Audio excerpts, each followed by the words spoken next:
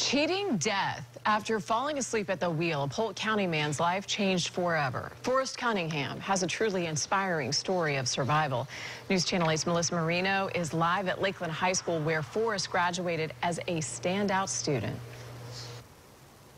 Yeah, Jen, he has a remarkable student story. He was a standout student here, wrestler, football player, you name it. He was in college for pre-med when in an instant, it all changed.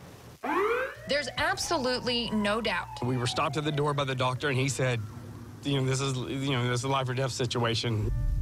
Forrest Cunningham. You don't know if I was gonna make it another hour. Was in death's icy grip.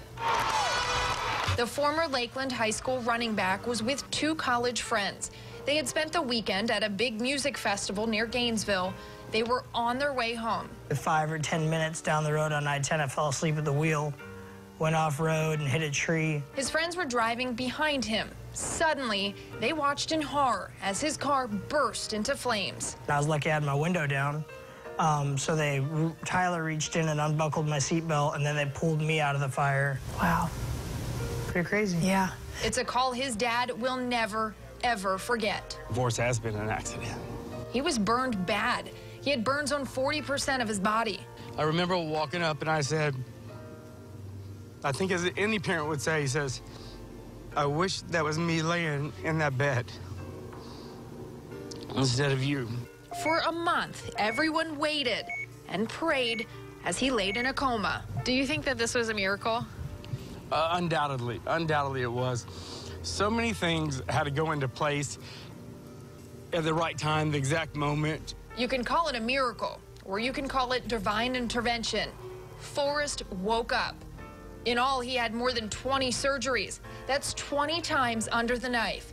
And he spent months going through rehab. My palm is hypersensitive. Tragically, Forrest was severely injured. He lost all of the fingers on his right hand, forcing him to give up his dreams of becoming a surgeon. But meeting him, you'd never know it. He works three jobs in between going to school full time for business, never letting it get him down. An inspiring story that miracles don't just come in fairy tales. Sometimes it's in second chances. Do you believe it was a miracle? Oh, 100%. It is more than nine out of 10 times. People go like, oh, you're so lucky that you're alive. And I go like, no, no, no, that doesn't touch it. that doesn't, the things that it took for me to stay alive and live through that was absurd. Whatever it was, Forrest Cunningham knows he cheated death. And although he didn't sign up for a miracle, he got one and is alive to appreciate it. Forrest is one of the most positive people I have ever met. Jen, even on your worst days, he shows you that you can overcome anything. He is an inspiration. Melissa Marino live in Lakeland Forrest tonight. Thank you.